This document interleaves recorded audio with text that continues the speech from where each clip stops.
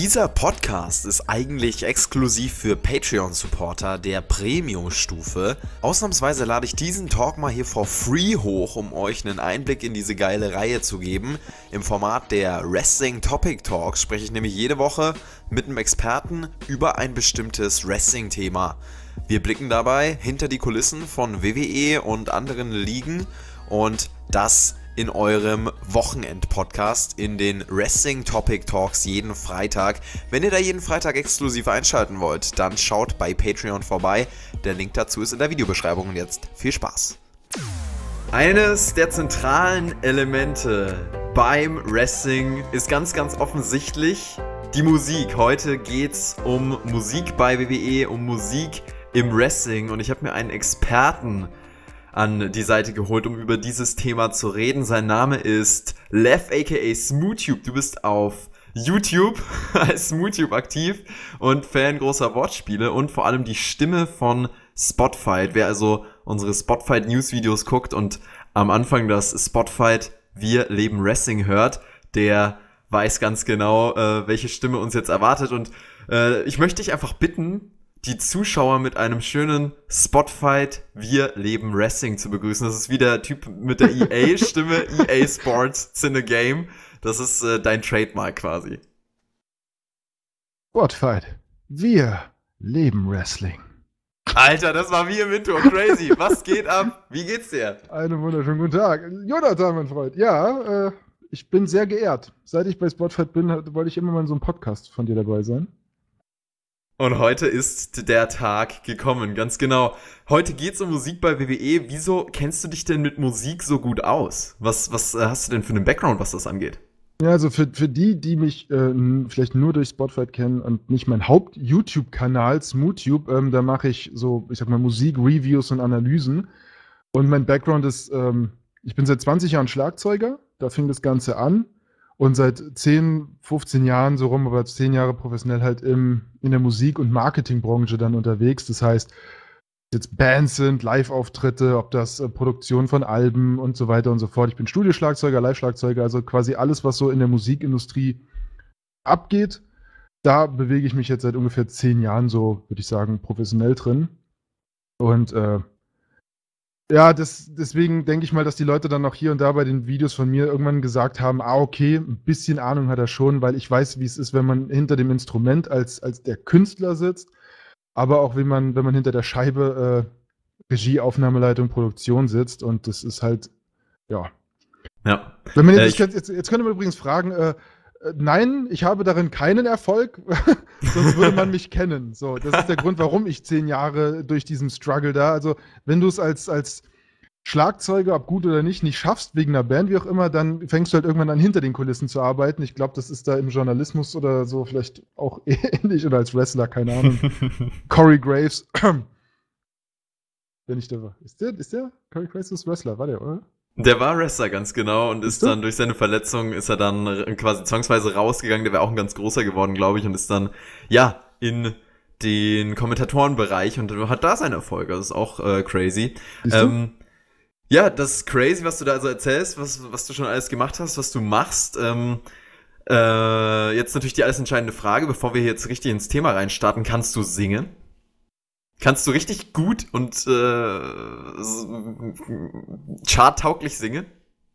Chart, charttauglich nein, aber ähm, das ist auch eine Sache, die man wissen muss. Jeder kann singen, ob gut oder schlecht ist die Frage. Ähm, okay, pass auf, ich gebe für deine Abonnenten einen kleinen, einen kleinen Fun Fact. Und zwar, ähm, ich habe ja, ich habe eine Schauspielschule besucht und als Aufnahmeprüfung musste man dort was singen.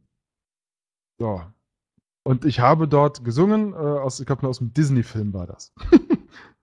Aber ob das jetzt gut oder schlecht war, sei mal dahingestellt. Aber charttauglich kann ich nicht singen. Okay, ähm, diese Stimme, die du da hast, die ist ja auch äh, äh, viel gebraucht. Du bist ja auch zum Beispiel Synchronsprecher. Mhm. Und was bei deinen Videos, finde ich, rauskommt, was auch der Grund ist, warum ich dich hier zu diesem Thema eingeladen habe, ist einfach diese Kompetenz, die du hast, wenn du über Musik redest, auch diese Rap-Analysen, die du auf deinem Channel hast, da äh, hast du einfach Plan von dem, was du redest und von daher lass uns mal über die Musik bei WWE reden, die ist ein zentraler Bestandteil. Wenn ich von einem Redakteurartikel über Wrestling rede, der ganz neu und zum ersten Mal zu einem Wrestling-Event geht, dann ist eines der Hauptthemen, über die er schreibt, die Musik. Das, ja. ist, das ist ganz, ganz klar und das ist auch so prägnant. Welche Wirkung hat Musik im Wrestling, beziehungsweise was will WWE überhaupt damit erreichen? Wieso hören wir sowas wie Wrestling-Theme-Songs? Das ist, genau das ist das, was du sagst. Das ist der, der große Unterschied oder das, worum es geht. Es sind Theme-Songs. Ja, es sind keine Chart-Songs, wie auch immer. Ähm, es war ja damals vor langer, langer Zeit so, dass dann noch äh, eingekauft wurde. Dass dann die WWE von Bands richtige Songs eingekauft hat. Äh, CM Punk zum Beispiel, war, glaube ich, wie heißen die, Four Colors oder irgendwas so in der Art. Das hat sich ja geändert. So, und deswegen gibt es Theme-Songs, weil die einfach diese, ähm, diese Connection zum Wrestler schaffen. Ich zum Beispiel, ähm, wer meine Videos auf SmoothTube kennt, ich habe immer ein Seth Rollins T-Shirt an. So. Einfach weil ich bin ein die-hard Seth Rollins Fan. So. Und das Ding ist, auf meinem iPod habe ich das Seth Rollins Intro immer wenn der Typ reinkommt, bin, siehst du, wie ich auch dieses mir auf die Brust haue und die Arme nach oben, so diese typischen Moves. Das ist einfach das Ding. Und das schaffst du, indem du Theme-Songs machst. Ja, wie zum Beispiel, ich denke, die meisten werden das kennen von, von Serien. Simpsons, wie auch immer, das sind die sogenannten Intros. Und die schaffen einfach diese noch krassere Zugehörigkeit zu einem Produkt, in dem Fall dem Wrestler. Und das ist mega clever, dass die das halt, ja, so auf diese Theme-Songs äh, spezialisiert haben und nicht mehr nur dieses, oh, wir nehmen uns irgendeinen coolen Song, weißt du? Okay, du, du sprichst es diesen Unterschied an, aber was ist denn der Unterschied von der coole Song, der vielleicht auch in den Charts läuft, du hast gesagt, der Pop-Song zum Beispiel, ähm, gegenüber vom, vom Theme-Song, den wir im Wrestling sehen, zum Beispiel von Seth Rollins, dieses Burn It Down? Ja, ein, ein, ein Pop-Song oder ein normaler Song hat normalerweise eine gewisse Songstruktur. Das Ding beginnt dann, du hast ein Intro, du hast eine Strophe, ein Refrain, das wird dann meistens wiederholt, also erste Strophe, Refrain, zweite Strophe, äh, Refrain. Dann kommt eine Bridge, ungefähr das letzte Drittel, letzte Viertel und dann kommt nochmal der Refrain am Ende. Das ist eigentlich eine normale Song-Pop-Song-Struktur, wie man sie aus Charts, Metal, egal woher kennt. Theme-Songs sind insofern speziell, da sie den Weg zum Ring unterstreichen müssen. So, zum Beispiel ähm, Finn Bella zum Beispiel. Ja, bei ihm ist es wichtig, dass Finn Bella an genau an gewissen Punkten seine äh, diesen Signature Move macht, wo das Publikum mitmacht. Das heißt, er muss eine gewisse Zeit haben, um am Anfang der Rampe diesen Move zu machen. Und dann, ihr kennt es alle, Finn Bella Intros sind unheimlich lang. Oh mein Gott, er braucht so ewig. The Miz hat das ja auch verarscht am Anfang. Das erste, der, das erste Mal gegen The Miz wo der Miss fragte so, hallo, fünf Minuten Intro, was geht? und Theme-Songs unterstreichen den Wrestler und den Auftritt des Wrestlers. Ich zum Beispiel feiere ja definitiv Seth Rollins. Ja, wenn der Breakdown kommt, drrr, bam, und dann geht, der, geht ja. das los. Vor allem du als Schlagzeuger, ne? Was, was bei dem Song ja extrem markant ist, ist das Schlagzeug, sind die Drums, dieses, oh. ich weiß gar nicht, diese Triple Bass oder was ist das? Keine Ahnung, ich bin kein Fachmann. Es ist eine Double Bass. Du spielst okay. quasi diese Bassdrum, bum, bum, bum. Du hast halt mit beiden Füßen spielst du dum, dum, dum, dum, dum. Das ist für mich aus dem Metal-Bereich, ist das natürlich, ich feiere das. so.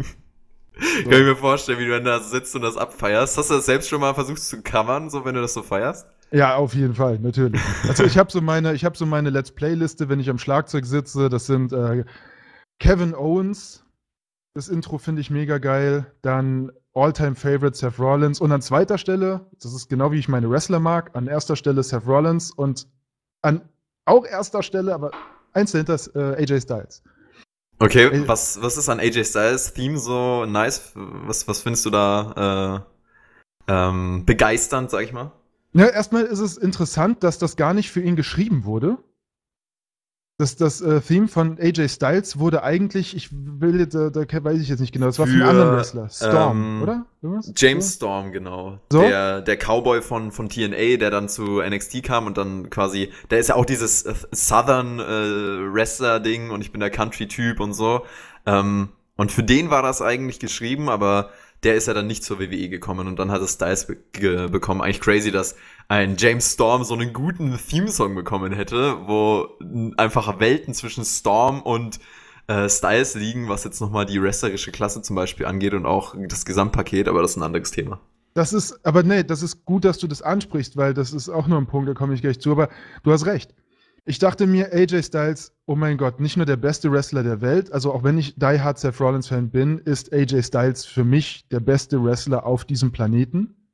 Punkt, meine Meinung. Ja, würde ich mitgehen.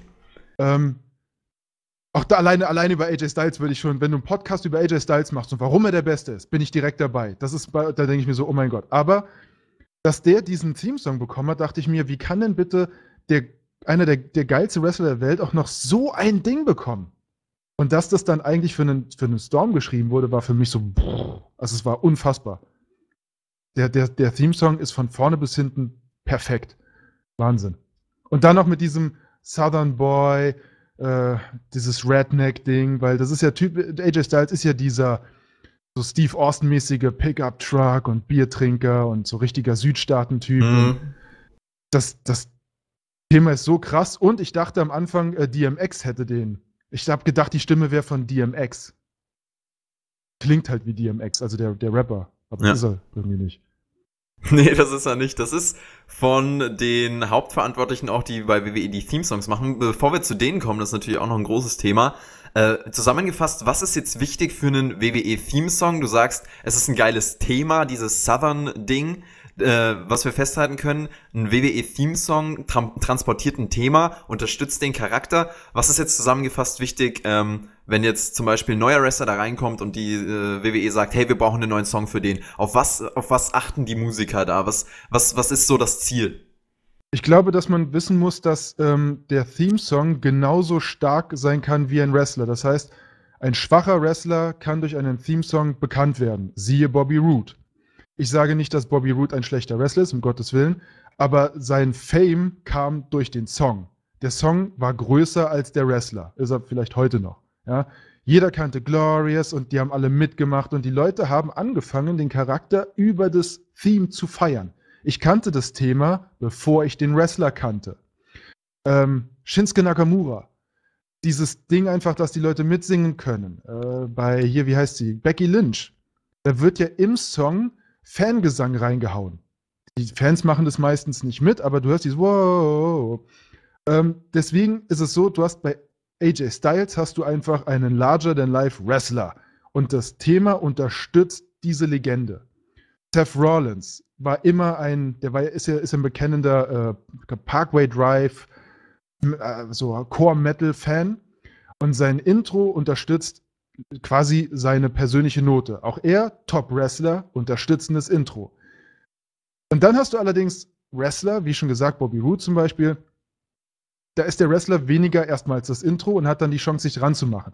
Das Intro ist so maßgeblich, also manche Intros werden auf den Charakter zugeschnitten und manche, da muss sich der Charakter dem Intro vielleicht erst anpassen. Ja? Kevin Owens ist vielleicht auch perfektes Intro. Dieses stacheldrahtige, Price-Fighter-Ding mit diesen bösen Gitarren, du hast ein hartes Schlagzeug. Oder sag mal so, jetzt, ich glaube, werden wir jetzt alle übereinstimmen. Brock Lesnar. Oh yes. Kein Intro hat diesen Gänsehaut, okay, jetzt, jetzt ist vorbei, wenn dieses, wenn die Gitarre, dieser Effekt der Gitarre am Anfang, dieses dieser Hall-Effekt. Ja. Es, es braucht nur den. Und ich denke, alle sagen so, oh Kacke. Ja, so. das ist, das ist, das ist genau das, dieses Here comes the pain war ja sein, ja. Ähm, seine Catchphrase oder zumindest der Satz, um das, um, um den aufgebaut wurde. Und genau das transportiert dieser Theme-Song. Und ich finde, Brock Lesnar hat so einen der besten Theme-Songs auch aller Zeiten, allein wegen ja. diesem Anfang und dann passt das zu 100% zu diesem Typen und deswegen hat man den nie ausgewechselt. In seiner ganzen WWE-Karriere hat er diesen Song und äh, wünscht sich auch für seine MMA-Fights diesen Song, aber äh, ist dann dann trotzdem nicht drin. Aber großartig auf jeden Fall. Ähm, ja, also bottom line, was ist jetzt das Wichtige beim WWE-Theme-Song? Um das nochmal hier in einem Satz festzuhalten oder so? Entweder der Theme-Song Song unterstützt den Wrestler oder pusht den Wrestler. Zweitens, der Theme-Song unterstützt das Intro, also den, den Entrance vom Wrestler, vom Timing her. Und drittens, das, der Theme-Song äh, setzt eine Art Grundtonus, Grundstimmung für den Wrestler. Also man, es gibt diese drei Faktoren bilden das, was es ausmacht. Man kann es leider nicht voneinander trennen. Okay. Ähm, jetzt gehen wir schon in diese Charakterrichtung rein.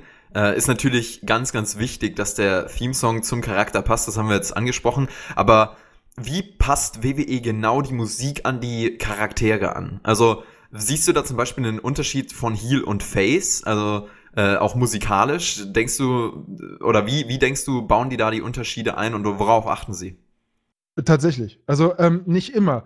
Das, das Ding ist, ähm, man könnte sich ja die Frage stellen, warum gibt es nicht nur erfolgreiche, nur tolle Wrestler? Warum gibt es nicht quasi nur Leute, die vom die Roman Reigns Standard haben? Das liegt daran, du entwickelst, haust raus und dann das passt du, das floppt. So. Das gleiche ist bei Theme Songs.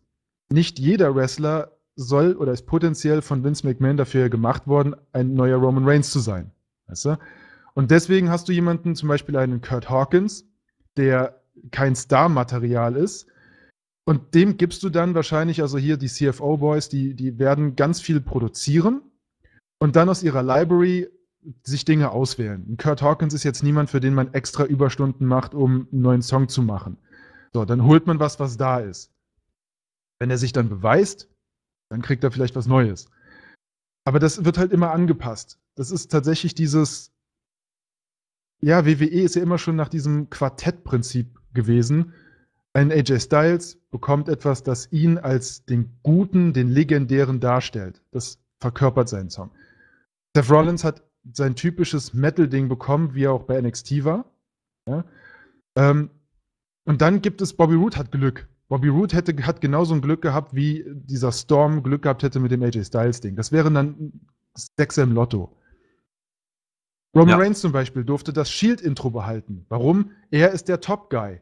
Shield ist das erfolgreichste Trio aller Zeiten gewesen. Nick, Nick, nichts war größer, krasser als Shield. Oh mein Gott, Hype.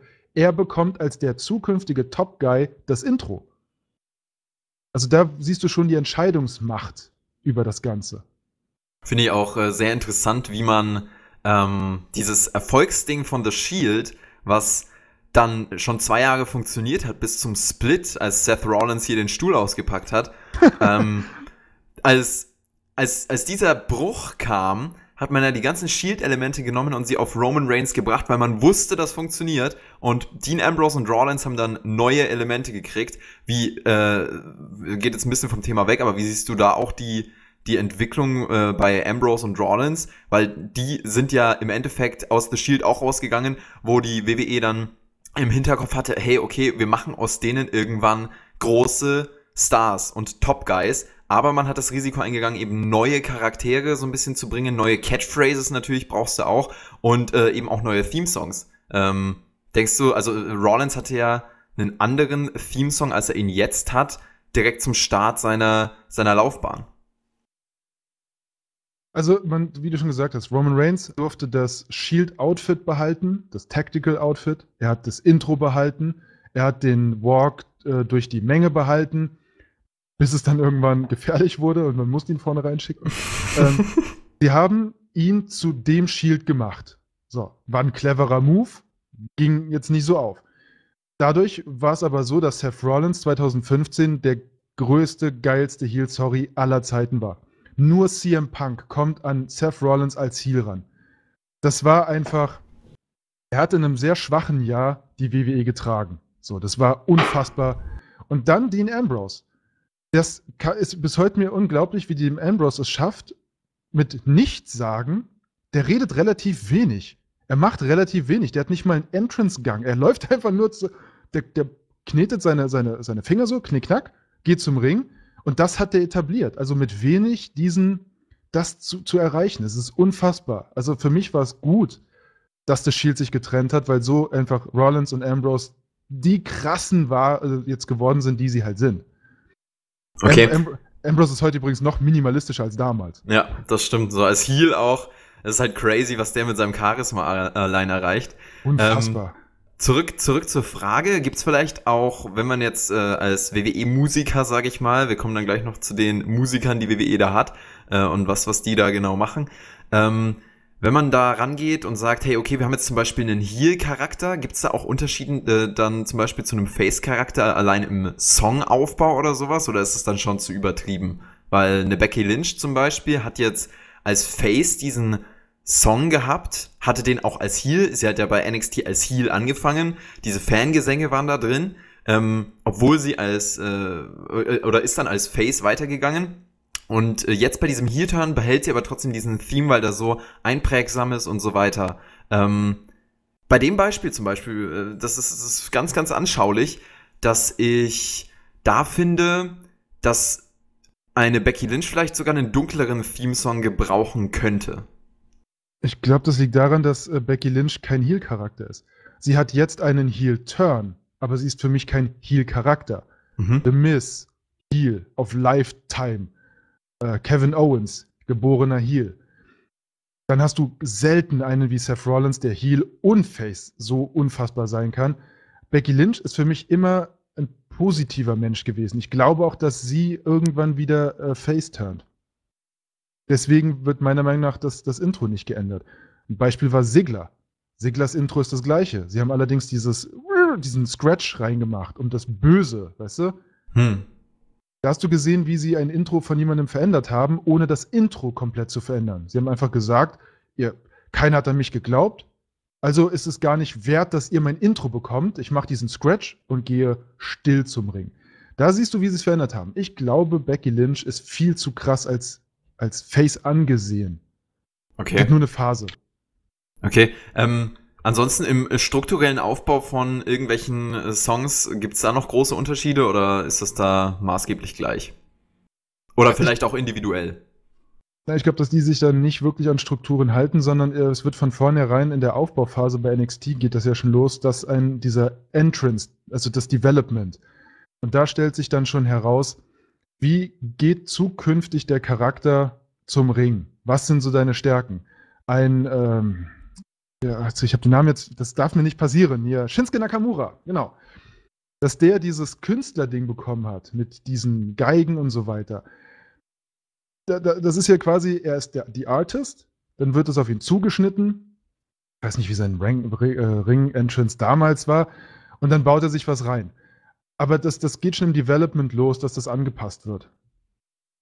Bin, hm. ich, bin ich fest der Überzeugung, dass die CFO-Jungs nicht einfach wahllos rausproduzieren, sondern das macht einen guten Musiker aus. Profis, ähm, die produzieren für andere, die schaffen es auf den Star, die Musik zu packen. Kommt jetzt ein bisschen ab davon, aber Sia, die bekannte Welt, der Weltstar Sia, hat ja für, äh, für große Stars Welthits geschrieben. Und das mhm. macht einen guten Songwriter aus, dass du sagst, ich mache einen Song und ich weiß dann aber auch, wer diesen Song verkörpern soll. Okay, bevor wir gleich zu der äh, Rolle von CFO oder CFOS, keine Ahnung, gibt es verschiedene Art und Weisen, die zu nennen. Ja. Sie nennen sich, glaube ich, CFOS, wie auch immer. Ähm, Gab es auch übrigens mal in der News-Ausgabe, glaube ich, hast du gesagt, äh, CFOS und da habe ich mir so gedacht, hä, die heißen noch CFO. Und dann habe ich dir geschrieben, hä, heißen die nicht äh, CFO? Und du dann, ja, aber in Interview haben sie sich äh, CFOS genannt, wie auch immer man sie nennen will. Ja, äh, stimmt. Allgemein jetzt äh, zur, zur Arbeit von CFOS. Erstmal, was, was macht CFOS bei WWE? Wenn, nennen sie jetzt einfach mal so, wie sie sich in diesem Interview da genannt haben. Ähm, was, was machen die? Naja, das ist ja, die sind ja, die, die machen den, die Entrance-Musik. Das ist deren Job. Sind sie die einzigen bei WWE, die das machen, oder gibt es da noch mehr? Nee, das sind äh, die beiden müssten das sein. Das liegt aber da, das hat irgendwie rechtliche Gründe, hatte das, soweit ich mhm. das weiß. Weil, ähm, genau wie du mal gesagt hast, jemand, also Brock Lesnar verlässt die WWE, geht zu UFC und wenn da nicht klar ist, dass der Song zur WWE gehört, gibt es Probleme. Und somit hat man sich einfach ein, ein hausinternes Produzentenduo genommen und damit ist die Sache klar. Unser Song, Rechte geklärt und das sind äh, John und Michael. Die, die, sind ja, die bilden CFOS, heute, ich habe es auch nicht CFO, CFO ich glaube auch CFOS, hast du recht. Äh, und die machen das halt, das ist, glaube ich, deren, deren Ding, das sind die, die Hauskomponisten. Genau. Die noch, noch die, ich weiß ja, die machen auch noch andere Sachen. Also die, fällt dir noch ein bisschen mehr an? Also auf hier äh, im äh, Internet steht wohl, dass die hauptsächlich bei, bei WWE sind, auch ein paar andere Sachen noch machen, aber sind ja quasi diejenigen, die mittlerweile seit ähm, Raw 1000 tatsächlich, also 2012, die also quasi WWE musikalisch unterstützen. So, und nicht nur unterstützen, sie sind WWE im Musikbereich eigentlich. Alles, was bei WWE ist, kommt von denen und das ist natürlich auch logisch und sehr, sehr ähm, strategisch schlau umgesetzt, wenn du dir das anschaust. Bei zum Beispiel deutschen Wrestling Promotions, da gibt's ganz oft das Problem, die haben Theme-Songs für ihre Wrestler, aber diese Theme-Songs, die sie live ausstrahlen und live einspielen, können sie in ihren Übertragungen dann nicht zeigen, weil sie zum Beispiel daran dann nicht die Rechte haben. Das heißt, Richtig. sie stehen vorm Zwiespalt, entweder zu sagen, okay, wir nehmen irgendwelche royalty-free äh, Sachen, die sowieso die Leute auf die Rechte verzichten, die das irgendwie komponieren oder produzieren, oder wir bleiben halt bei diesen Songs, die wir benutzen, können sie dann aber in der Übertragung und im Stream oder sowas nicht zeigen. Und das ist natürlich bitter und WWE ist natürlich darauf angewiesen, äh, diese Trademark-Musik äh, auch zu kreieren und die dann überall auch zu zeigen, weil es halt eine absolute Unterstützung der Charaktere ist. Und deswegen äh, hat da WWE sehr, sehr lange drauf gesetzt. Davor war zum Beispiel Jim Johnson ein großer Name, der da verantwortlich war und CFOS quasi ab Raw äh, 1000, dann auch mit äh, Tonight is the Night, dieser klassische Raw-Song, vielleicht sagt der vielen von euch noch was, ich glaube schon. ähm, und dann halt jeder Theme-Song irgendwie, der neu reinkam. So. Also es ist crazy, was die für eine Arbeit machen. Und was ich halt auch beeindruckend finde, das sind zwei Typen, die es aber auf eine Art und Weise schaffen, für jeden passend einen Song zu kreieren. Für den manchen mehr passend, aber für den anderen weniger passend. Ich finde aber, ich, also von, von Sifas kommt doch ganz selten was, wo du sagst, ey, das passt jetzt musikalisch überhaupt nicht zusammen zwischen Superstar und Musik. Und das ist doch eine unglaublich beeindruckende Leistung. Also was bei, was du eben gesagt hast, das ist übrigens ein, wichtiger Aspekt, das Thema mit dem Urheberrecht. Ähm, deswegen gibt es ja auch die WWE Music Group. Das heißt, du machst ein eigenes Label, damit den Vertrieb. Und das Problem ist folgendes. Du hast einen Song, der innerhalb deines Landes gewisse Strukturen, also ein, ein Urheberrecht. Das Problem ist dann, sobald du über die Landesgrenzen hinausgehst, wird es anders. Soll heißen, in Deutschland machst du einen, einen, einen, einen Theme-Song und den kannst du in Deutschland zwar sichern, aber wenn du den nach Amerika bringst, muss in Amerika ein amerikanischer Vertrieb dort vor Ort, auch für dich, wie auch immer, das Ganze neu regeln. Also hat WWE das clever gemacht. Wir stellen die Produzenten an, wir haben ein eigenes Label, den eigenen Vertrieb, alles in Eigenregie und somit gar keine Probleme. Die deutschen Wrestler, ähm, ich glaube hier, ähm, ist Martin Guerrero, dein, äh, ist das dein, dein YouTube-Kontrahent? Keine Ahnung. Der Kollege eher. Kollege, äh, der, ist eure Fehde, läuft die noch? Nein, Spaß. Aber der, der Es gab nie eine Fehde! ja, ich weiß, ich möchte das hier offen sagen, ich habe das war jetzt nur ein Spaß. Ich weiß nur, dass es da noch ein. Ey, die, die Gerüchte, die kommen schon wieder auf Twitter, schreiben mich da Leute an. Wieso hast du Martin? Nein, nein, nein, um Gottes Willen. Wir, übrigens, da muss man da fairerweise sagen, also, äh, also da gibt es wirklich kein Beef. Ich, ich, ja, ich bin ja, kenne mich nicht so aus in dieser äh, Wrestling-YouTuber-Szene so, aber ich kann definitiv sagen, da gibt es hart kein Beef. Also zumindest von unserer Seite aus. Gut. Spaß ist beiseite. Aber ich weiß, dass Martin wrestelt. So. Und ich habe mal ein Video gesehen, wo er als Entrance-Musik das Dragon Ball-Intro hatte. Weil das irgendwie so sein Stick ist, würde Paul Heyman sagen. Und da siehst du ja schon, dass das ein Problem wird. So. Ist geschützt, kriegst du überall gesperrt, so ein, ein Problem. Und da ist die WWE halt clever gemacht. Oder hat sie WWE clever gemacht. Aber du siehst, was das für ein gigantischer Apparat ist. Du musst tatsächlich ein ganzes Label plus Vertrieb plus hier die beiden Genies von, von den CFOs musst du engagieren. Und keine Ahnung, ich hoffe, die kriegen Millionen von Gagen, weil die beiden sind, in meiner Meinung nach, sind die Genies. Wie du schon sagst, die hauen nichts Schlechtes raus. Mir fällt kein schlechter Themesong ein. Außer ja. den von, äh, ich mag den von Rusevs Frau von Lana, finde ich ein bisschen nervig, aber gut. ich weiß jetzt gar nicht so aus dem Kopf, was der Theme von Lana ist. Die hat am Anfang Ach, so ein. Dievenhafte, ne? Dieser Diva-Theme. Das ist so ein, so ein Saxophon, so ein, so ein ja. Geil. Ja, du sprichst es an, die WWE Music Group. Ich habe es jetzt hier auch noch mal ein bisschen gegoogelt parallel. 2003 wurde die gegründet, ähm, ja, einfach um da die rechtliche Absicherung zu haben. Und WWE ist da ja auch, also sowas von gigantisch und großartig aufgestellt. Also je mehr man da einsteigt, je mehr man auch bei WWE hinter die Kulissen guckt, checkt man einfach, wie krass diese Strukturen sind und wie heftig natürlich dann auch das Talent von äh, diesen beiden Typen äh, von CFOS ist. Wie, wie machen die das, Lev? Ist das einfach nur Talent? Haben die irgendwie einen Musik-Background? Bist du da näher informiert? Hast du einen Plan? Ähm, das übrigens, du hast eine, eine Sache, würde ich gerne noch sagen, vielleicht ist das vielen nicht aufgefallen, weil wir haben jetzt geklärt, dass CFOS für äh, WWE intern den ganzen Kram machen. Aber es gibt eine Ausnahme und das sind die Pay-Per-Views. Weil die WWE für Pay-Per-Views sich externe Songs einkauft. Machine Gun Kelly, äh, Flowrider und so weiter. Das ist ein weiterer Geniestreich von der WWE. Du ziehst für Pay-per-Views, wo es noch mehr um Ticketverkäufe und Prestige geht, ziehst du noch mehr Leute, indem du Deals mit großen Stars abziehst. Du brauchst Live-Events, äh, Quatsch, also so Live-Performances. Flowrider sehr gerne gesehen, Snoop Dogg, Die Hard WWE-Fan, äh, Machine Gun Kelly, der ja geile Sache von Kevin Owens damals durch den Tisch gebrettert wurde. Und das haben die clever gemacht, zu sagen, das ist der einzige, weil es temporär ist, dann machen wir Deals mit großen Künstlern.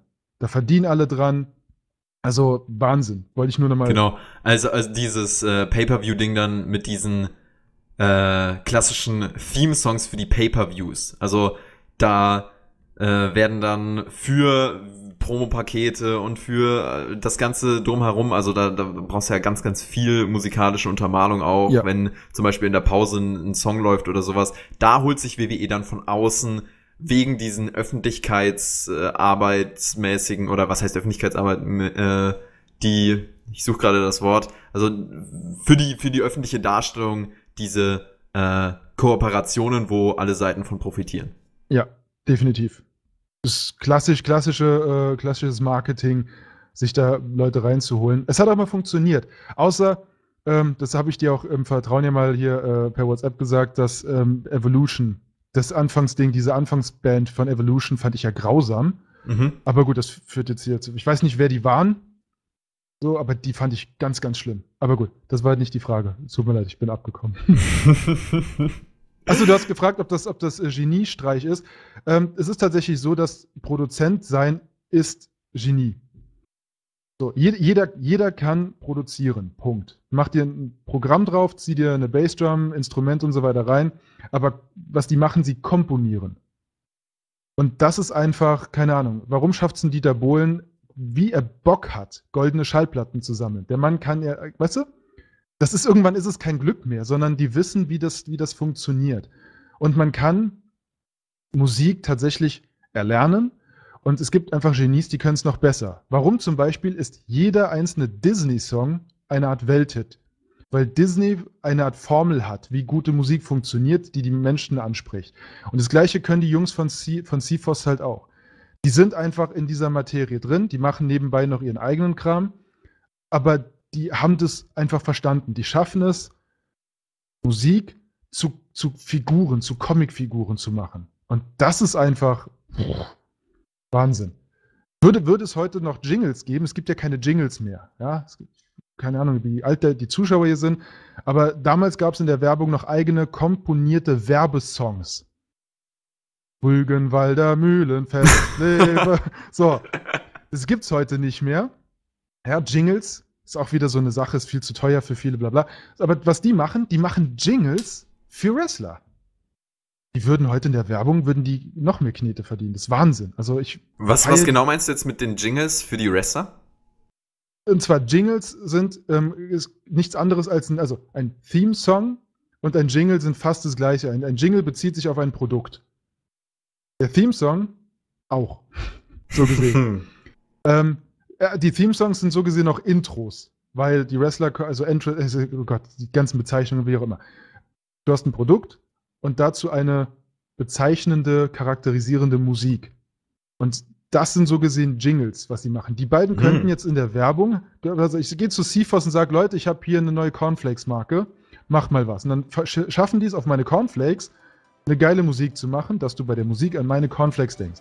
Jetzt ersetze Cornflakes durch AJ Styles und den Jingle und den Jingle durch ein Theme. Es ist genau das gleiche. Ja, aber also ich, ich check's immer noch nicht so ganz. Wie schaffen es diese beiden Typen?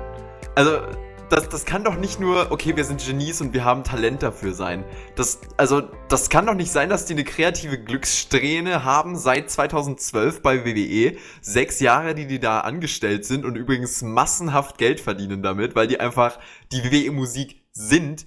Äh, das ist doch, das ist doch crazy. Zwei Typen. Das kann doch nicht wahr sein. Wie funktioniert sowas? Also man kann ja sagen, dass sie im, äh, an erster Stelle gute Musikproduzenten sind. Das ist, das ist machbar. Ja? Gute Musikproduzenten.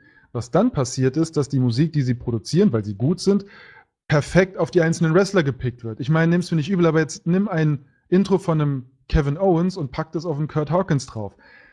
Ob man das so feiern würde, weiß ich nicht, weil die Kombination macht's. Kein Schwanz hätte einen Storm wahrscheinlich mit diesem Intro so gefeiert wie heute ein AJ Styles. Hm. Ja. Also, und da, äh, ey, jetzt, jetzt schließt sich der Kreislauf. Nimm Roman Reigns. Roman Reigns mit Shield. Und oh mein Gott. Der, der, also das war ja so die Creme de la Creme, dies, das. Du hast aber das Shield, die Marke des Shield von Reigns abgekoppelt, obwohl sie noch an ihn gekoppelt war. Also du weißt, wie ich meine, ohne Ambrose und Rollins. Und du siehst, dass es dann wieder nicht funktioniert hat.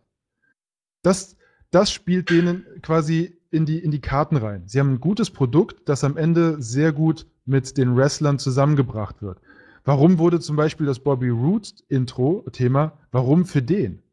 Warum nicht für einen, für einen A-Class-Typen? Weißt du, ich meine? Also Bobby hm. Root war jetzt für mich, wäre jetzt für mich nie eine Nummer 1-Pick gewesen. Kleiner Fun Fact: Das Bobby Root-Theme war eigentlich auch für jemand anderen produziert. so siehst du, Punkt. Das ist Rate mal für wen. Er ist im, aktuell im, im Hauptroster von WWE.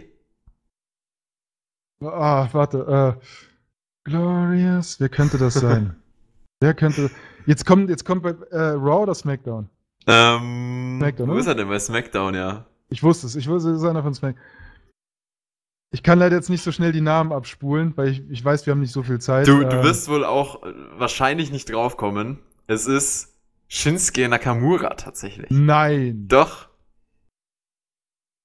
Crazy, oder? Von der Epischness, wenn ich das mal so nennen darf, ja, absolut. Aber krass. Ja. Aber nur, du siehst, es hätte nicht gepasst. Das, du hast jetzt, du nimmst Bobby Root, packst ihn Ric Flair-mäßig in die Robe rein und es passt wie die Faust aufs Auge, bombastisch. Aber jetzt stell dir den Entrance von Shinsuke Nakamura damit vor. Gar nicht. Ich finde das kennt hm. überhaupt nicht. Hm. Aber dann wäre es doch zum Beispiel wahrscheinlich so gewesen, dass wenn man das wirklich so umgesetzt hätte, dass äh, ein Shinsuke Nakamura diesen ähm, Song bekommen hätte, dieses Glorious, dass dadurch sein Charakter und auch sein Auftreten jetzt komplett, oder was heißt komplett, aber schon auf jeden Fall grundlegend anders wäre, oder? Ja, ja klar. Das, das sehe ich auch so. Also stell mir ihn gerade vor, wie er jetzt ist, mit dem Intro. Aber das, das ist ja, jemand muss die Entscheidung getroffen haben. Und jemand muss gesagt haben, ich glaube nicht, dass es Vince immer ist, aber ich, jemand muss genau das gesehen haben. Hm. Und entschieden haben, nee, nee, das, das funktioniert nicht. Gut gedacht, aber es funktioniert nicht. Und deswegen kommen wir wieder zu dem, was ich sagte. Sie, sie schaffen es, also Bobby Root Intro, Nakamura, beides geile Songs, also geile Komponisten, aber dann kommt dieses Marketing, da ist jemand, der entscheidet, nee, nee, nee, das passt nicht, das, das passt nicht zu diesem Produkt. Hm. Das wird es wahrscheinlich gewesen sein. Ich bin jetzt auch nicht genauestens informiert, wieso ähm, das nicht umgesetzt wurde, weil es auch äh, widersprüchliche Aussagen gibt diesbezüglich. Aber äh, ein absolut krasser Fun Fact, wo wir gerade bei Shinsuke Nakamura sind. Ähm, wie findest du die Musik, der, die er aktuell hat? Er hat ja diesen Heel-Turn gehabt und hatte vorher dieses, ähm, dieses klassische Nakamura-Theme. Jetzt hat man für seinen Heel-Turn ja auch was sehr, sehr Interessantes gemacht, finde ich. Man hat ähm, japanische Rapper genommen und die quasi dieses dunkle, dieses, diesen dunklen Rap darüber bringen lassen. Eine E-Gitarre rein statt dem, was davor war. Und ähm, damit einfach dem ganzen Song ein bisschen was Dunkleres, ein bisschen was Healigeres gegeben. Das fand ich zum Beispiel eine extrem starke Änderung beim Nakamura-Theme-Song, ähm, der so ein bisschen dieses äh, Mitsummen äh, von, von seinem Theme-Song auch kaputt macht natürlich, was genial ist für einen Heal. Also das fand ich äh, sehr, sehr stark. Ja, da muss man dazu wissen, ähm, dass Vince McMahon Wert darauf legt, dass seine Topstars perfekt Englisch können. Das ist der Grund, warum ja Asuka abserviert wurde, in dem Sinne. Ähm, das ist auch das Problem, warum Becky Lynch eine lange Zeit nicht mehr durfte. Einfach nur, das ist, oder Cesaro, der All-Time-Worker. Du musst einfach die Brand repräsentieren. So wie Roman Reigns. Groß, gut aussehend, breiter Typ, Superheldenformat, leider scheiße am Mikro jahrelang gewesen. Entschuldigung. Aber das muss das, das Thema halt unterstützen. Bei Shinsuke war das Ding, er hatte diesen unfassbaren Hype, er hatte dieses unfassbare Intro, aber sobald du ihm einen Titel gibst und er fängt dann an mit dem gestotterten Englisch, no hate, aber es ist leider so, mhm. hast du irgendwann gemerkt, dass du ihn nicht als, als Face der Brand repräsentieren kannst. Trotzdem ist er gut, also machst du ihn zum Heel. Ein Heel darf machen, was er will. Und das, das meine ich. Becky Lynch bekommt kein neues Thema, weil sie für Vince ein Face ist. Shinsuke Nakamura hat als Face nicht gepasst. Ergo wird er zum Heel gemacht und kriegt ein neues Intro. Und ich glaube schon, dass Vince dahinter steckt, weil wir erinnern uns an Seth Rollins uh, Burn It Down. Das geht auf Vince McMahon zurück, diese, dieser Filler, weißt du? Ja, ist das so? Das wusste ja, ich gar nicht. Vince McMahon meinte zu Seth Rollins, ähm, du Seth, mich stört diese Pause nach dem, nach dem Beatdown. Das, ist, das geht nicht. Dann meinte Seth zu ihm so, Vince, drei Jahre lang hat es sich nicht gestört. Warum kommst du jetzt damit? Und dann meinte er, na, da muss irgendwas rein. Und dann haben sie ihm verschiedene Sachen äh, zur Auswahl gegeben. Und das Burn It Down war dann von allen das, das, das am wenigsten schlechte. da kam, da kam, ich war, was war denn das? Da Diese so, ganze awkward WWE Catchphrases bestimmt, ey. Ja, ja, da gab's, es gibt doch diesen äh, Seth Rollins in, in Toxic Grün. Hast du es mal mhm. gesehen? Ja, ja. So dieses Bild, was da kursiert. Und dazu gab es irgendwie einen Spruch, der war so cringe, das war so peinlich. und dann wurde sich halt auf Burn It Down wegen dieser Videospielausgabe ge, ge, also, ge, wie heißt es hier, geeinigt. Und dass das so gut ankommt, hätte keiner denken können. Ich fand es damals kacke, ich finde es auch heute noch kacke. Also nicht, weil es kacke klingt, sondern ich mochte einfach dieses, weißt du, als alles, das ist mein Moment gewesen. Aber Vince hat da seine Finger im Spiel. Und ich bin auch sicher, dass er das bei äh, Shinsuke gemacht hat. Ja, das äh, sehr, sehr, sehr interessant auf jeden Fall, diese, diese Hintergründe mal zu erfahren. Du hast da auf jeden Fall auch äh, crazy Informationen, die ich so gar nicht auf dem Schirm hatte. Aber, Aber das, das zeigt übrigens auch, dass bei Dolph Ziggler ein Problem besteht, weil Dolph Ziggler ähm, musste sich verändern. Das Problem ist nur, er bekommt keinen neuen Theme-Song, er bekommt lediglich dieses, weißt du, wie heißt der so? Ich bin der motzige Segler. Ähm, da, da ändert sich nichts. Es ist immer noch der gleiche Sigler, der halt manchmal ein bisschen böser ist, aber ansonsten immer noch der gleiche Spaghetti-Haartyp. Und ich mag Sigler, wirklich. Aber du siehst, ja? Bei Sigler ist halt auch der, der Faktor mit dabei. Gesundheit. Bei Sigler ähm, ist die Sache, er war ja hier zu seiner Anfangszeit und das war ja perfekt. Also er war dieser schnöselige, ja, arrogante ja, ja. äh, Show-off, einfach Show-off, dieser Angebertyp und dieses äh, ähm, Bring It On und dieses alles, was er in seinem Theme-Song hatte, dieses äh, Here to Show the World, also mhm. ich gebe hier einfach mal an, war ja trotzdem grundlegend arrogant, auch wenn er Face war. Er war trotzdem, äh, obwohl, obwohl er Face war, so ein bisschen in dieses arrogante, charakterliche rein. Und deswegen ist eigentlich der Song, den er als Face hatte, äh, schon so ein bisschen hier gekennzeichnet gewesen. Und deswegen muss man auch, glaube ich, bei Segler gar nicht viel ändern. Äh, das ist ein klasse Song, der super zum Mitsingen ist und so weiter. Es ist richtig, richtig geil. Ähm, und was, was du halt änderst, ist dieses Anfangsding was auch äh, ein absolut charakteristischer Punkt natürlich für den, den Theme-Song ist und auch für den Wrestler, der dann da rauskommt. Äh, aber sonst brauchst du da ja nicht viel ändern, weil es ja sowieso äh, auch vom Text her und so absolut heelig ist. Das hast du richtig gedacht. Genau. Am Anfang wurde schon sein Weg geebnet. Nur dann wurde es Sigler irgendwann zum Soul Survivor. Wir erinnern uns hier, äh, was war hier mit der Authority. Und mhm. das ist dann quasi, wo Sigler diesen, diesen Hype bekommen hat, der Soul Survivor, den er der Show-Off. Aber das Problem ist, dass Sigler nun ja nachweislich, oder wir wissen es alle, seit Jahren in so einer Krise steckt, dass er einfach kaum nach oben kommt. Ähm, jetzt diesen Push wieder bekommen hat, okay, aber auch das geht wieder runter. Drew McIntyre wird der nächste Shit sein. Und ich will eigentlich dann nicht, nichts zu Sigler damit sagen, sondern du siehst, Shinsuke Nakamura, dass das geändert wird, ist eine große Sache. Das heißt, jetzt siehst du den zukünftigen Shinsuke Nakamura, wie er erstmal eine lange, lange Zeit wahrscheinlich so vor sich hin dümpeln wird äh, oder wie er laufen gelassen wird. Vince hat schon ganz klare Vorstellungen. Sigler ist Sigler, da wird nichts verändert. Der bleibt immer gleich, hat dieses äh, Brad the Hitman Hart-mäßige Outfit, ja. Er hat immer noch die blondierten Haare. Es ist einfach der Sigler, der ist so etabliert, den zu ändern. Das, das geht nicht mehr. Weißt du? Ja. du kannst, du kannst ihn aber auch nicht einfach liegen lassen. Dafür ist er zu gut. Klar. Aber, ja. Also über Dorfsieger könntest du auch einen, einen, eigenen Podcast machen und ich finde es interessant, wie auch natürlich die Karriere dann damit reinspielt. Und ich finde, an dem Punkt ist auch schon eine, eine Becky Lynch so ein bisschen angekommen, die halt jetzt äh, sehr, sehr, die, die einfach diese Connection mit diesem, mit diesem Theme-Song hat und deswegen bleibt das halt auf dem, äh, auf die, auf die Art und Weise ausgerichtet. Yes, und ähm, darum, darum geht's im Endeffekt. Lass uns noch mal kurz auf Seaforce zurückkommen. Die, ich, wir reden wirklich länger über dieses Thema, als ich es gedacht habe, aber es ist äh, mega interessant, weil es gibt hier noch einen Aspekt, den ich echt beeindruckend finde. Seaforce machen diese Songs und sie bringen es äh, immer auf den Punkt, würde ich fast behaupten, schaffen es auf eine Art und Weise, das zu produzieren, dass es zu diesen Superstars passt. Ähm, Fände ich mal interessant, wirklich herauszufinden, wie die da auch rangehen. Also, ich weiß nicht, ob du da nähere Informationen hast, aber wie würdest du denn ähm, jetzt Schritt für Schritt da rangehen im Produktionsprozess, wenn Vince McMahon zu dir kommt oder Triple H zu dir kommt und sagt, hey, wir haben einen neuen NXT-Superstar.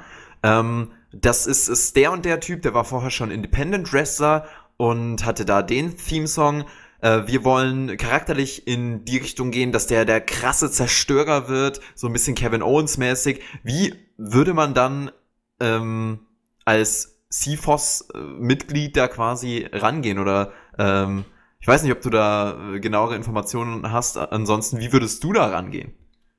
Ähm, also es gibt übrigens, für die, die es interessiert, auf äh, YouTube ein Video, wo man CFOS so ein bisschen über die Schulter schauen kann. Ähm, das ist so, und zwar ich mit einem, mit einem Kumpel zusammen äh, schreibe ich Songs, Achtung, äh, für Schlagerleute. Ja? Kein Scheiß. Ich mag Schlager nicht, ich habe Schlager nie gemocht und so weiter und so fort, sondern es geht darum, ähm, du kriegst einen Auftrag, Schlager, für eine gewisse Person. Das heißt, du musst dir überlegen, ist, ist jetzt ein doofes Beispiel. Eine Helene Fischer klingt anders als eine Maite Kelly. Höre ich die beiden? Nein. Mag ich Schlager? Nein. Aber, als, aber wir reden hier von einem Business und dann weiß man genau, was heißt, weißt du, genau, das ist schon schwierig. Also du weißt, eine Maite Kelly hat gewisse Eigenschaften, die hat einen gewissen Stil. Und eine Helene Fischer eher was anderes. Verstehst du? Und demnach machst du dann die Musik. Da ist es zum Beispiel so, du hast einen Kevin Owens. Der hat zum Beispiel, du guckst dir den Wrestler an, ist ein, hat einen Bauch, ist ein harter Typ, Prizefighter, Gitarre passt. Du bringst bei einem Shinsuke Nakamura, der der Künstler ist, eine Geige mit rein, Violinen, ja, hat zum Beispiel nichts bei einem Kevin Owens zu suchen. Ähm, das, das kann man schwer beschreiben. Du kriegst einen Auftrag und ab dann wird die Musik tatsächlich developed, entwickelt. Und auch da ist es so, dass CFOS genauso viel, ich sag mal, Müll produzieren, bis dann dieses perfekte Endergebnis rauskommt. Die machen einen ersten Entwurf, der geht zu Vince, wahrscheinlich, denke ich mal. Der sagt dann, geht mir nicht so gut, dies, das und dann wird umgeändert. Da wird eine Gitarre gegen einen Streicher ausgetauscht. Dann wird das, die Drums werden härter gemacht. Also da ist ja schon eine harte Entwicklung. Ja. Das, ich glaube, da darf man nicht denken, dass die morgens ins Büro gehen, fünf Minuten aufnehmen, haha, geil, perfekt, sondern es ist ein harter Prozess. Und das wird dann mit Vince und seiner übertriebenen Vision einfach abgestimmt. Und Oder da wissen die. Hm? Eher, eher mit Triple H, glaube ich, oder mit äh, jemandem, der da verantwortlich ist, weil Vince halt, ja, ja, glaube ich, in sein Schedule auch das nicht reinkriegt, aber haben da ja richtig fähige Leute auch. Und da wird dann halt quasi gesagt, Kevin Owens ist, finde ich, da sehr bezeichnend. Dieses Theme auf ihn passt einfach. Es ändert so diese Stacheldrahtige. Kommt da, es ist hart, es ist passt perfekt. So. Und da wird dann sich abgesprochen. Was jetzt leichter klingt als es ist. Das ist wirklich, also dafür haben die Jungs jeden Cent verdient. Das ist Wahnsinn. Hm. Und das wissen die wenigsten, auch, auch auf SmoothTube weiß das halt kaum jemand, ähm, dass ich selber halt auch für Leute Musik produziere oder auch Bands aufnehme. Das ist, das ist, das machst du jahrelang und im besten Fall schaffst du es, so eine Art Gespür zu entwickeln für einzelne Künstler. Kann man schwer beschreiben. Das ist dann das, dieser Kunstaspekt, weißt du? Hm. Und das ist halt die Schwierigkeit, ne, dass CFOS da regelmäßig neue Leute reinkriegt oder auch WWE äh, konstant neue Leute verpflichtet und die treten ja dann schon bei Live-Events, äh, obwohl sie überhaupt nicht dann in TV kommen zum Beispiel, bei Live-Events von NXT treten die mit einem Theme-Song auf, da muss ja auf jeden Fall musikalisch irgendwas da sein, da haben die sicherlich auch irgendwie einen, äh, ja, Pool an Sachen, die sie da verwenden können, die jetzt noch nicht hundertprozentig ja, ja. passen, ganz klar, sonst äh, kommen die ja auch gar nicht mehr aus dem Musikstudio raus, die armen zwei äh, Typen da. Aber ähm, ne, es ist es ist ein extremer Aufwand, den sie haben. Ich glaube auch, dass wenn da zum Beispiel jemand aus dem Independent-Bereich kommt, dass man da halt nochmal einen, einen viel größeren Bonus schon mal hat, äh, weil man einfach schauen kann, okay, wie, wie hat er sich im Independent-Bereich präsentiert, wie hat er sich äh, beim, beim Entrance verhalten und so weiter. Und das, das wird ja auch oft äh, in die WWE übernommen, weil ich glaube, allein nach einer Idee von einem Charakter einen Song zu entwickeln, ist schwerer, als vielleicht schon mal einen Einzug aus dem Independent-Bereich mit einer anderen Musik gesehen zu haben und dann äh, zu sagen, okay, so und so gehe ich daran und äh, das ist der Typ, diese Moves macht er vielleicht auch. Also ich glaube, je mehr du über den, den Wrestler logischerweise weißt, desto einfacher fällt's dir. Aber diese hohe Frequenz an Wrestlern, die reinkommen und an Theme-Songs, die du produzieren musst, ähm, das ist halt mir immer noch ein absolutes Rätsel, wie die auf eine Art und Weise da so konstant delivern können, weil Kreativität ja auch irgendwann, zumindest bei mir, ein Ende findet und ich eine, eine, eine Pause brauche, eine kreative Pause, weil sich das irgendwann leer läuft. Aber das scheint ja bei denen nicht so zu sein. Ja, die, die inspirieren sich halt aus ganz vielen Bereichen. Das kannst du nicht machen, wenn du nur einen Bereich hast. Also wie, wie du schon sagst, es gibt verschiedene Stadien bei CFOS. Das heißt, einmal Auftragsarbeiten. Jo Leute, wir haben hier einen Roman Reigns. Wir wissen jetzt schon in NXT, dass das der zukünftige Superstar wird. Macht was für den. Dann kommen Tage, wo es heißt, Leute, wir haben gerade keine neuen Talente, macht mal euer Standardding. Dann werden die da sitzen, äh, sich inspirieren lassen und schlichtweg Musik produzieren. Weißt du? Wie jeder andere Produzent auch. Kreuz und quer, Klassik, Hip-Hop, Rap, Metal, dies, das. Dann hast du, um diesen Pool weiter zu füttern. Und dann gibt es halt Auftragsarbeiten wie, Leute, wir müssen, wir haben hier jemanden wie Seth Rollins. So, der hat diesen Metal-Kram in NXT, macht er mal für WWE was. So. Das sind so, würde ich sagen, so die, mit die drei Hauptstadien, die die Arbeit von denen ausmachen. So, ins Leere produzieren und dann gucken, was passt. Auftragsarbeiten maßgeschneidert oder Abänderungen. Seth Rollins zum Beispiel hatte ja auch immer eher so Parkway Drive Metalcore Sachen, wo er dann so rumgepokt ist bei NXT. Kommt dann mit diesem gleichen Stil, aber maßgeschneidert in die WWE. Weißt du? Hm. Und das ist dann deren Tagesablauf und dafür werden die auch ein Schweinegeld kassieren. Auf jeden Fall. Und auch absolut zu Recht, weil, also, was die da abliefern, ist großartig. Und das ist, ich, ich verstehe aber, was du meinst. So ein bisschen wie PewDiePie. Ich denke mir auch, wie, wie konnte der jahrelang immer wieder irgendwelche Ideen für Videos, wenn du jeden Tag was machst mhm. und bei denen halt auch jeden Tag Musik produzieren, so wahllos. Es ist eine Sache, wenn ja. du bist Rap-Produzent, dann rotzt sich dir auch jeden Tag 20 Rap-Songs hin, aber so so eine Diversität zu haben, brutal. Also ich weiß es nicht, keine Ahnung, wie die das machen. Ist aber deswegen sind sie halt bei der WWE. Ich meine, angestellt zu werden als, als die Chefkomponisten der WWE, das ist wie der ja. oberste Kreativdirektor von Apple zu sein. Da kommst du nur hin, wenn du richtig, richtig die haarigsten Klöten der Welt hast. So, also da ja. musst du schon, wir reden von, mit den beiden reden wir von der Creme de la Creme de la Creme de la Goldcreme.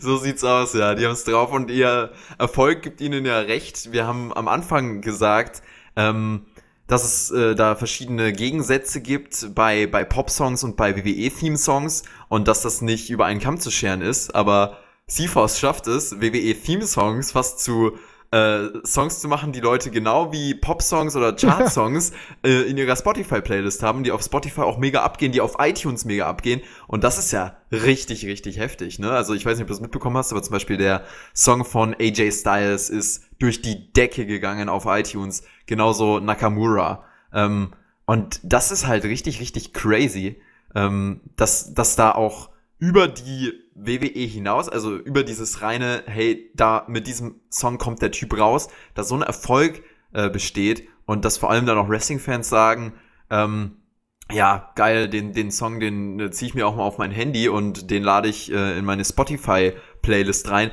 Aber ich kenne tatsächlich auch Leute aus meinem Umfeld, die einfach den AJ Styles Theme-Song hören oder ab und zu mal den Brock Lesnar hören, wenn sie aggro sind, obwohl die überhaupt kein Wrestling gucken. Ja, aber denk dran, dass äh, Hulk Hogan mit I Am a Real American hatte sein eigenes Musikvideo damals. Und das war in den 80ern oder so. oder 70ern, keine Ahnung. Also, die haben es halt geschafft, das, was damals ähm, diese Klamottenmarke, ich habe den Namen vergessen, der Tattoos als Klamotten verkauft hat, was mal so der Trend war. Ich habe den Namen. Ed Hardy, Entschuldigung, genau. Und nichts anderes machen, machen CFO. Die schaffen es einfach, das in den Alltag einzubauen, casual zu machen. Und ja. das ist einfach so clever geworden, dass aus einem. Ich habe einer der ersten Theme-Songs, die ich in meiner Freizeit so unterwegs gepumpt habe, war der erste äh, Entrance-Song von Seamus. Ah, okay. So. Äh, ich habe den Namen vergessen. It's a shameful thing. So ja, dieses, äh, ja, so. ja, genau. Und da habe ich das auch gemerkt. Oder von Edge. Oder von CM Punk. Das sind so das macht es dann halt aus. Und das hat die WWE natürlich auch erkannt. Und heute in der Zeit von Spotify gab es ja damals gar nicht, vor 15 Jahren. Weißt du? Hm. Von, von Goldberg, das kannst du dir nicht anhören. also da musst du schon einen harten Komplex haben und dich selbst für einen, für einen Superman halten, wenn du mit der Goldberg-Musik auf den Ohren durch die Stadt gehst. Und wahrscheinlich durch jede, durch jede Rauchwolke, die die Stadt irgendwie macht, durchgehst und glaubst, du wärst so ein Superstar. So. Aber heute ist es halt mehr Casual-Style. Und zu Recht. Wobei ja. ich, ich gebe zu, ich habe auch einen Schatten. Also kein Witz, ich habe das Seth Rollins Intro, habe ich, da höre ich in Dauerschleife. das geht dreieinhalb Minuten lang und es besteht immer nur aus dem gleichen Drrm, Drrm, und das, das, diese, diese, das ist ja so ein Loop, so ein Endlosschleife. Ja. Und ein Part geht vielleicht nur 45 Sekunden, eine Alter. Minute. Alter. Und das höre ich in Endlosschleife. Ich gebe hier ein auf YouTube Seth Rollins äh, Theme One Hour. So. Und da gibt's echt, natürlich gibt's da Videos, so, okay, der macht einfach den zwei Stunden Seth Rollins Musik äh, Upload, gönnt er sich. Aber auch bei, bei AJ Styles zum Beispiel. Da gibt's also mehr Leute wie dich, die da äh, anscheinend das im Loop hören. Crazy stuff. Das ist ja aber jetzt auch die, die letzte oder ja, eine der, doch die letzte Frage, die ich für den Podcast jetzt hier habe. Ähm, wieso sind denn die Songs bei, bei WWE auch von CFOS so repetitiv. Also, die, wenn, wenn, wenn ich jetzt zum Beispiel, ich habe mir, ich, welchen Song ich mega gefeiert habe, ist der von, von Cassius Ono bei NXT. Ich weiß nicht, ob du den kennst, aber äh, den fand ich zum Beispiel mega geil und habe mir den in, Spotify, äh, in, in Spotify reingeladen. Und es ist immer schwierig, wenn du Spotify sagen willst, aber eine Website heißt, die Spotify heißt und dich dann so ein bisschen verplapperst. ähm, so, ähm, Spotify, ganz genau. Habe ich mir reingeladen in meine Musikliste und habe den dann gehört und der geht fünf Minuten lang, aber diese fünf Minuten lang sind quasi eigentlich nur zwei Minuten lang und dann pure Wiederholung. Also die haben meistens nur eine Strophe, eine einzige Strophe bei, bei den, bei den Theme-Songs, die wir bei WWE haben und die wiederholt sich und wiederholt sich und wiederholt sich. Ähm, und auch als ich zum Beispiel bei WrestleMania äh, live war, war ich dann auch bei Raw und SmackDown danach, und bei, bei Raw ist es ja dann immer so, du hast diese Pausen und äh, wo dann Werbung eingespielt wird. Und während dieser Werbung, wenn da, oder wenn, wenn vor der Werbung irgendwie jemand rauskommt und äh, dieser Entrance noch gezeigt wird und die dann in die Werbung gehen, äh, zum Beispiel bei Nia Jax war das so, Nia Jax kommt noch on TV raus und macht diesen Einzug und dann gehen sie in die Werbung und dann läuft die ganze Werbezeit live dieser Song durch und dann kommt 500 Mal I'm not like most girls und irgendwann hast du einen Schaden, weil du denkst, Junge, könnt ihr mal bitte was anderes jetzt oder zumindest irgendwie eine, eine, noch eine zusätzliche Strophe da erfinden, weil das ist das ist zu repetitiv.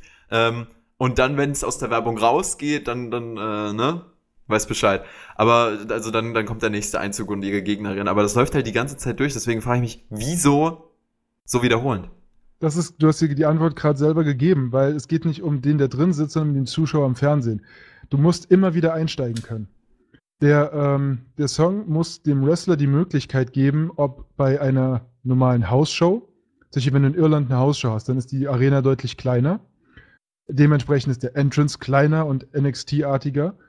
Bei der WWE hast du so eine Mid-Range-Entrance, diese typischen, was sind das, 20 Meter, keine Ahnung. Und dann hast du einfach mal eine WrestleMania, wo du einen halben Kilometer eine Stage runterläufst. Und der Wrestler musste die Chance haben, wie zum Beispiel Seth Rollins, bestes Beispiel. Seth Rollins kommt raus, überbrückt ein bisschen Zeit, geht linke Seite, rechte Seite, macht dieses, seid ihr alle da? Und macht dann bei dem Breakdown äh, die Hände hoch, haut sich zweimal auf die Brust und geht zum Einsatz rein. So, dann läuft er die Stage runter und dann kommt der Moment, wenn er auf dem, auf dem Eckseil die Arme auseinander macht. So, das heißt, du hast zwei Ankerpunkte, an denen der Beat brechen muss, damit er seinen Signature-Move machen kann. Und das geht nur, indem sich das wiederholt. Und wenn es dann hm. in die Werbung geht, muss es ja durchlaufen. Und du als Zuschauer willst nach der Werbung genau da abgeholt werden, weil die Werbung die stört, die nervt. Und was die WWE versucht ist, dich die ähm, Werbung vergessen zu lassen, indem du am gleichen Punkt wieder reinkommst. Deswegen sind die repetitiv. Für den Wrestler und für den Zuschauer gemacht.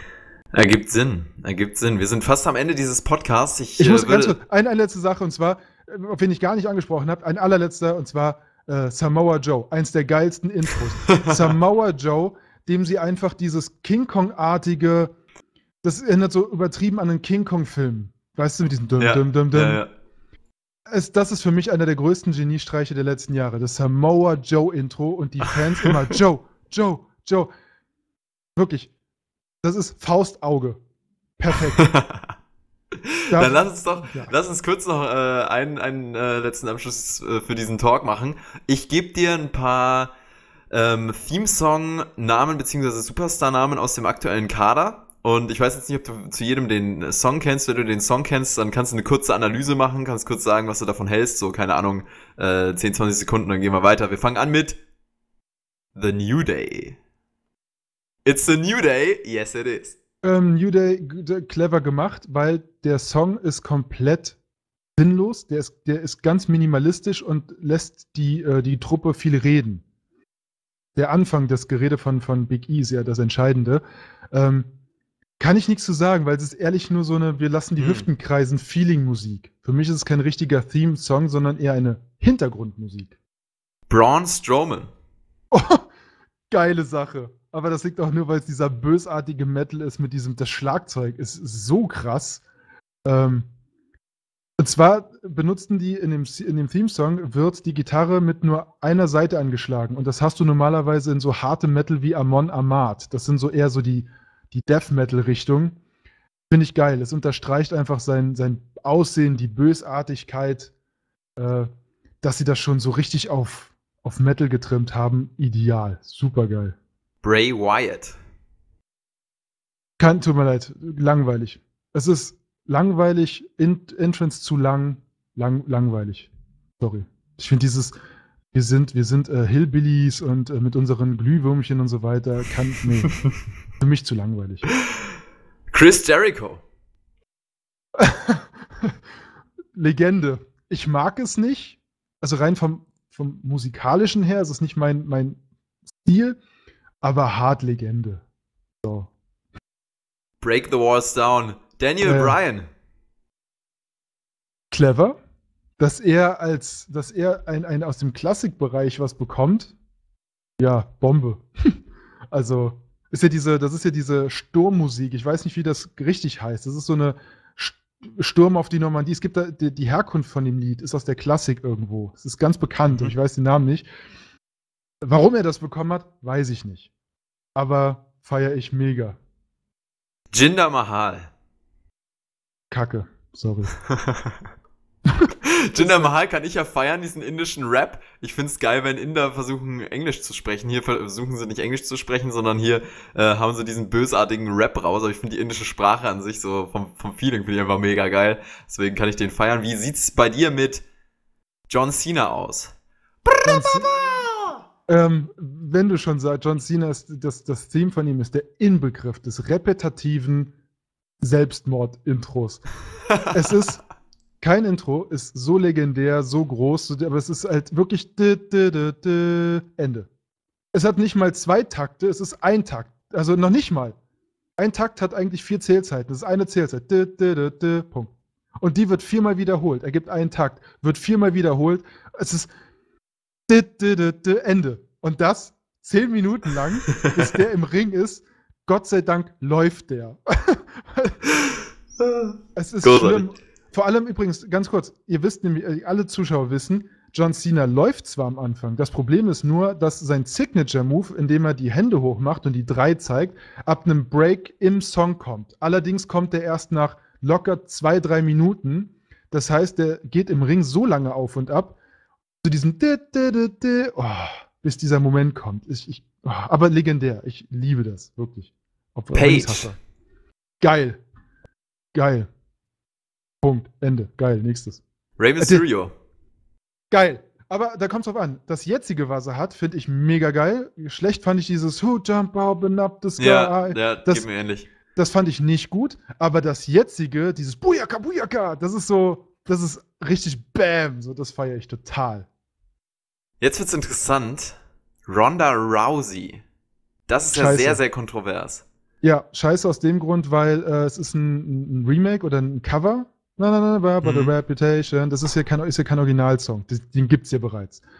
Und das passt überhaupt nicht. Und das Problem ist, dadurch, dass sie an Rowdy Roddy Piper vom Style angelehnt ist, ja, haben sie extra etwas genommen, das so British, Sex Pistols, anti-autoritär, so diese Art, so Britain, so. Und es passt überhaupt nicht. Es ist langweilig, es passt nicht. Nein. Also, das ist, finde ich, ein Riesenfail. Triple H. Geil.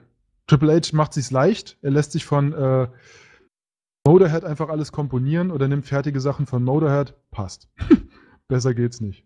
Und jetzt natürlich der ikonischste Theme-Song aller Zeiten, in meinen Augen. Der Undertaker. Ähm, ja, legendär. Aber jetzt nach 25, 26 Jahren repet repetitiv so reicht. Also, ja, es ist, es ist ikonisch, keine Frage. Aber ich kann es auch jetzt, ich könnte jetzt nicht in jeder Smackdown-Folge das mir reinziehen. Übrigens, kurzen Respekt bitte an das Intro von Charlotte. Nämlich, mm das, das, das Intro ihres Vaters nur in etwas technolastiger ja. aufgemotzt. Geniale Sache. Mega. Super. Mega. Also. Dann sind wir durch. Geil. Sorry, Mega. dass ich den Rahmen gesprengt habe. Ich liebe das Thema. Ist wahrscheinlich ein etwas sehr langer Podcast. Kein Ding. Nee, dann machen wir einen Zweiteiler draus. Habe ich gerade beschlossen. ähm, so wird es äh, Vince McMahon auch machen. Ja, ja also, sehr gut. Vince weiß Bescheid. Wir werden nächste Woche über Vince reden, denn der Left wird nochmal mit am Start sein nächste Woche, äh, wenn wir über das Marketing von WWE reden. Ihr habt gemerkt, er hat mega viel Ahnung von Musik, aber er hat auch Ahnung von Marketing. Und äh, das geht natürlich bei ihm so ein bisschen Hand in Hand auch. Aber mehr dazu dann nächste Woche. Wir werden über verschiedenste Themen reden, was in der Vermarktung bei WWE eine Rolle spielt, wie das auch in Bezug auf die Superstars aussieht, wieso Roman Reigns an der Spitze war und das absolut zu Recht. Jetzt wird's kontrovers und noch viel, viel mehr. Schaltet da gerne ein. Und äh, danke dir, Lev. Hast du noch was zu werden? Nee, danke, dass ich da sein durfte. Äh, hat Spaß gemacht. Und äh, sorry, dass ich das manchmal so rausziehe, aber das ist voll mein Thema. Was, äh, wo, wo finden wir dich online? Wo checken wir dich aus? Achso, ja, auf äh, SmoothTube also mein, einfach SmoothTube, S-M-O-O-T-U-B-E. Am leichtesten zu finden, wenn ihr einfach auf jeder Spotfight-Folge unten in, den äh, in der Infobox, da seht ihr dann als Sprecher, bin ich aufgeführt. Und da dann alles Social Media etc. könnt ihr mich finden, wenn ihr Bock habt. Äh, und ansonsten, ja, immer wieder äh, Sprecher für Spotfight. Und hoffentlich irgendwann nochmal Kommentator in der WWE. Dream Big, ganz genau so sieht es aus. Dankeschön, Leute, dass ihr heute mit dabei wart. Bis zum nächsten Mal. Haut rein und ciao.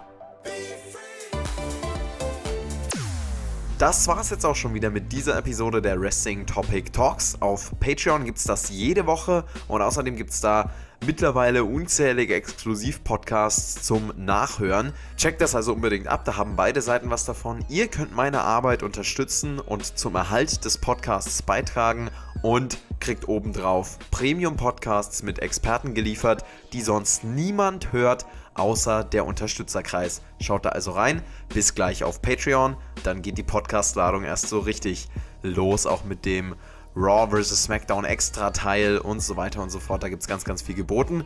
Ich verabschiede mich jetzt und sage, klick in die Beschreibung. Bis gleich.